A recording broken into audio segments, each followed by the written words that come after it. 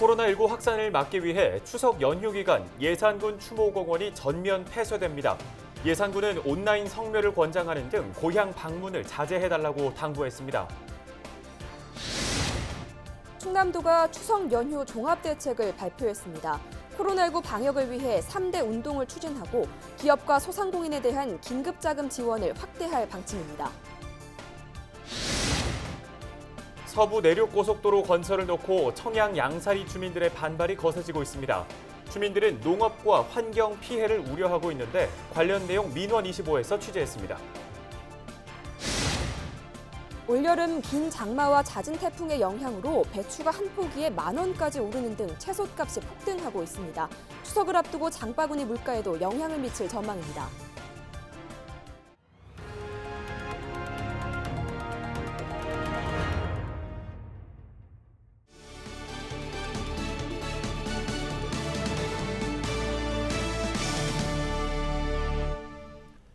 시청자 여러분 안녕하십니까? 헬로티비 뉴스 충남 시작합니다. 첫 번째 소식입니다. 보령에서 고등학생이 코로나19 확진 판정을 받았습니다. 보령 14번 확진자인 A양은 충남 해양과학고 학생으로 전날 발열과 두통 증세를 보여 검사한 결과 16일 양성으로 나왔습니다. A양은 지난주에 등교했으며 이번 주에는 원격 수업을 받아왔습니다. 학교 측은 이날 등교한 학생 전원을 귀가시킨 뒤 학교 전체를 방역 소독했습니다. 방역 당국은 A양의 감염 경로와 접촉자 등을 조사 중입니다. 다음 소식입니다. 올 추석에는 코로나19 확산 우려에 조상묘를 직접 찾는 것도 어려울 전망입니다. 최근 확진자가 처음 나온 예산군에서는 안전을 위해 추석 연휴 기간 추모공원을 전면 폐쇄하기로 했는데요. 충남 각 지자체에서도 비대면으로 온라인 성묘를 권장하고 있습니다. 정선영 기자입니다. 산소 곳곳에서 풀을 베는 작업이 한창입니다. 추석을 앞두고 코로나19 확산을 막기 위해 추모공원에서 성묘객을 대신해 벌초를 하고 있는 겁니다. 아직 명절이 열흘 넘게 남았지만 사람들이 몰리는 연휴를 피해 미리 조상을 찾아온 성묘객도 눈에 띕니다. 혹시나 하는 걱정에 올해는 가족이 한 번에 모이지 않고 나눠서 간소하게 성묘를 하기로 했습니다. 추석 때 대부분 오거든요. 아, 근데 이번엔 코로나 때문에 예, 미리 왔어요. 위험해서 어, 같이 안 오기로 했어요. 그래서 따로따로 지금 각자 오고 있어요. 예산군이 운영하는 이 추모공원은 야외 묘지와 실내 봉안 시설 등에 1만 6천여 명이 안치돼 있습니다. 명절 때 보통 7만 명 넘게 방문하는데 올 추석엔 시설을 전면 폐쇄하기로 했습니다.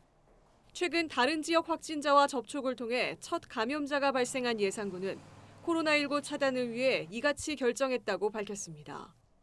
이에 따라 9월 30일부터 10월 4일까지 예산군 추모공원 출입이 금지됩니다.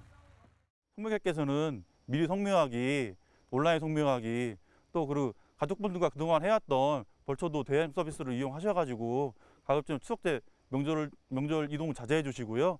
안전하고 건강한 추석 날수 있도록 간곡히 부탁드리겠습니다. 충남 각 지자체는 고향 방문 또는 역기성 안 하기 운동을 펼치고 온라인 성묘를 권장하는 등 추석 연휴 기간 이동을 자제해달라고 당부했습니다. 온라인 성묘 서비스는 오는 21일부터 이하늘 장사 정보 시스템에서 제공되며 영정사진 등록과 차례상 차리기 등의 기능을 이용할 수 있습니다. 헬로티비 뉴스 정선영입니다. 충남도가 추석 연휴 기간 코로나19 확산을 막기 위해 종합대책을 내놨습니다. 양승조 충남도지사는 사회적 거리두기와 이동 자제, 고향 방문 안 하기 등 3대 운동을 전개한다고 밝혔습니다. 감염병 대응을 위해 연휴 기간 방역 응급 진료 상황실 17곳을 운영하고 권역별 신속 대응팀을 가동합니다. 집단 발병이 우려되는 고위험 시설과 다중 이용 시설 등에 대해서도 중점적으로 살필 예정입니다. 2주 동안 집합 금지 행정 명령에 동참한 고위험 시설 4,900여 개 업체에는 연휴 전까지 재난 지원금 100만 원씩을 지급할 예정입니다. 충남도가 지난달 23일부터 2주가량 집합금지 행정명령에 동참한 업체당 현금 100만 원씩을 지급합니다. 지원 대상은 유흥 단란주점과 PC방, 노래방 등 12개 업종 4,900여 곳으로 행정명령 이전에 휴폐업했거나 행정명령을 위반한 업체는 제외됩니다. 지원금은 정부가 추진하는 2차 재난지원금과는 별도입니다. 신청 기간은 17일까지로 시군 담당 부서에 재난지원금 신청서와 구비 서류를 제출하면 됩니다. 예산은 충남도와 시군이 절반씩 부담하며 충남도는 추석 전까지 지급을 완료할 방침입니다.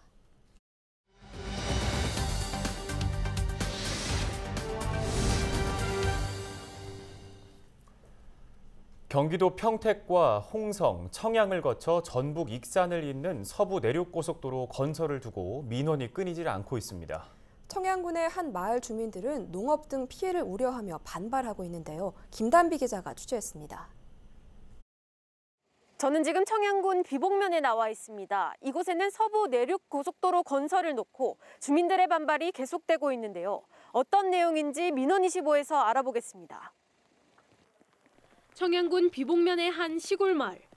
논이며 길가며 곳곳에 빨간색과 노란색의 깃발이 꽂혀 있습니다. 서부 내륙 고속도로가 들어오는 길목을 표시해 놓은 건데 주민들은 고속도로가 들어서는 위치가 마을과 너무 가깝다며 민원을 제기합니다. 설계대로라면 이 주택은 고속도로에서 불과 3m가량 떨어진 곳입니다. 집 위로 고속도로가 나면서 소음 피해와 안전 문제가 우려됩니다. 주민들에게 더 큰 문제는 농사입니다. 고속도로 일부 구간에 적어도 7m 이상 높이로 흙을 쌓는 공사가 진행되는데 주민들은 둔덕이 높아 통풍에 영향이 있고 병해충도 증가해 결국 농작물 피해를 가져온다고 주장합니다. 환경 무슨 영향 평가를 받아서 서풍이 불고 동풍이 불고 뭐 어쩌고 이런 이런 소리를 하고 피해가 하나도 없대요. 이런 경우는 없어요. 우리 천년만년 농사를 짓고 살고 대대로 살아왔는데 통풍이 안 되고 안 되면 병충해 그뭐 저기 뭐야 생산이 그될 수가 없어요. 주민들이 요구하는 건 공동 생활 공간인 마을회관 이전과 흙을 쌓는 공사 대신 다리 설치. 시공사 측으로부터 이 두 가지 요청 사항을 구두로 약속받았지만 어느 순간 말이 바뀌었다고 얘기합니다. 이 회관을 이, 옮겨주겠다 이런 말씀을 하셨는데 이제 와서 이제 공사 구간이 확정이 되고 그 공사하는 그 이 건설 회사가 확정이 돼서 보상을 하는 단계에 와서 이 말이 바뀌고 나니까 저희는 황당할 수가 있습니다. 지금. 취재진이 양사리 구간 고속도로 공사를 맡고 있는 시공사 측의 입장을 물었습니다. 관계자는 2017년 흙을 쌓는 대신 다리 설치 구간을 기존 45m에서 150m로 연장해주면 공사에 협조하겠다는 주민 탄원서를 받았다며 약속을 저버린 건 주민들이라고 반박했습니다. 또 두 가지 요청 사항 중 한 가지만 받아들이기로 했기 때문에 마을 회관 이전을 약속한 적은 없다고 밝혔습니다. 주민들과 시공사가 대립하고 있는 가운데 인근 남양면에서도 서부내륙 고속도로 건설에 반발하는 목소리가 나오고 있어 논란은 쉽게 가라앉지 않을 것으로 보입니다. 민원25 김담입니다.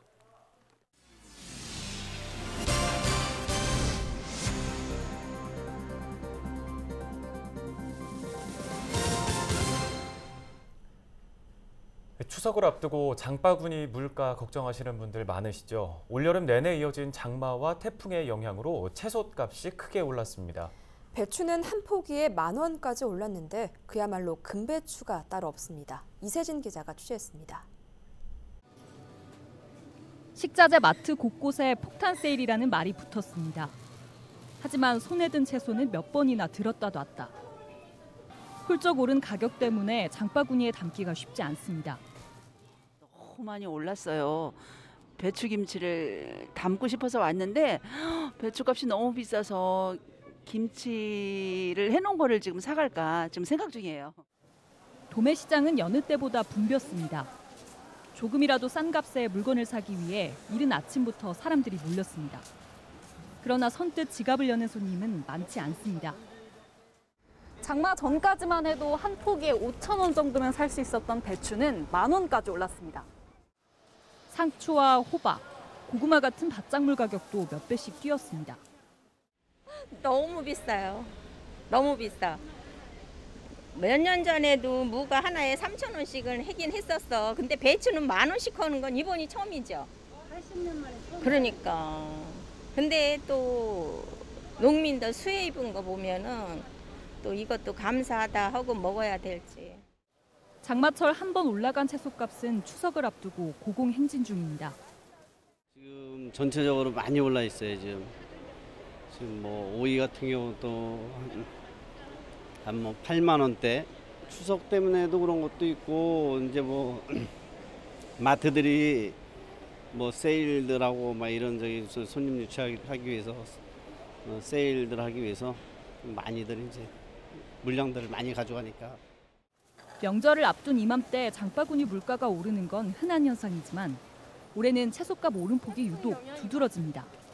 통계청이 발표한 8월 소비자 물가 동향을 보면 지난해 같은 달과 비교해 채소값이 28.5%나 폭등했습니다. 배추는 69%까지 올랐고 고구마와 호박도 50%대 상승률을 기록했습니다. 역대 가장 길었던 장마 끝에 연이어 올라온 태풍 때문입니다. 그 장마하고 집중호우로 인한 영향은 뭐 8월에 왔고 그다음에 9월 정도까지 갈 것 같은데 9월에도 바로 이제 뭐 채, 뭐 채소가 바로 회복이 되진 않을 건데 문제는 그게 문제가 아니라 그다음에 태풍 같은 게 또 오면은 그다음에 이제 연장될 수 있는 농민들의 마음을 할퀴고 지나간 장마와 태풍은 추석을 앞둔 장바구니 물가에도 치명타를 입혔습니다. 헬로티비 뉴스 이세진입니다.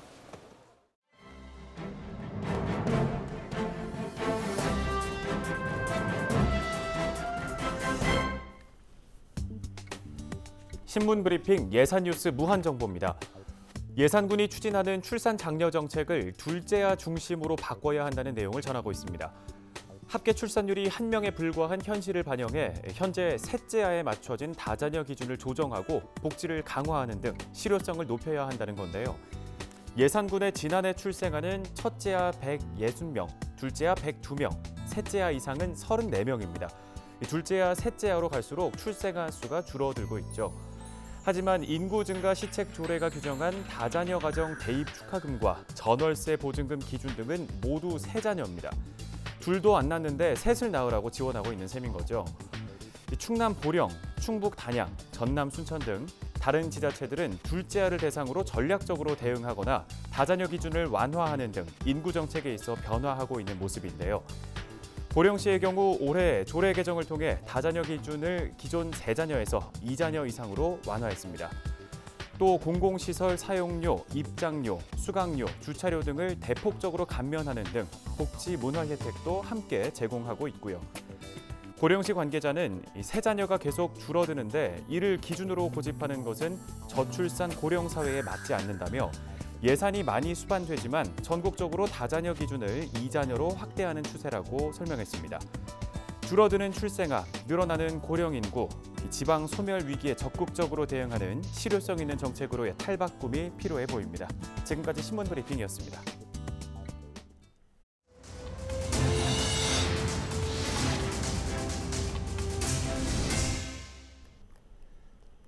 충남도가 전국에서 처음으로 중소기업 근로자를 위한 복지 기금을 조성합니다. 충남도는 16일 도청에서 지자체와 기업 관계자 등이 참석한 가운데 지역 공동근로 복지기금 조성 지원단을 출범했습니다. 지역 공동근로 기금은 대기업과 협력업체, 지자체가 복지기금을 출연하면 정부가 금액만큼 보조하며 전체 출연금의 90%까지 근로자 복지에 사용할 수 있습니다. 충남도는 내년 예산으로 6억 원을 편성해 먼저 당진과 서산, 아산에 있는 기업을 대상으로 복지기금을 조성할 계획입니다. 충남도는 복지기금 운영에 따라 근로자 복지 양극화 해소에 도움이 될 것으로 전망했습니다. 충남도의회가 제324회 임시회를 15일 폐회했습니다. 충남도는 이번 임시회에서 감염병 예방과 민생 안정을 위한 안건 59건을 의결했습니다. 방한일 의원이 대표 발의한 농업 분야 조세 감면 제도 개선과 조승만 의원이 발의한 공공의료 확대 촉구 등 대정부 건의안 4건도 채택했습니다. 특히 사회적 거리두기 조치에 따라 도정, 교육행정 질문과 심사 보고는 서면과 전자회의 시스템을 활용하고 회의 출석 인원도 50명 미만으로 최소화했습니다. 김명선 의장은 임시회 기간 최대한 접촉을 자제하면서도 시급한 안건 위주로 처리했다고 밝혔습니다.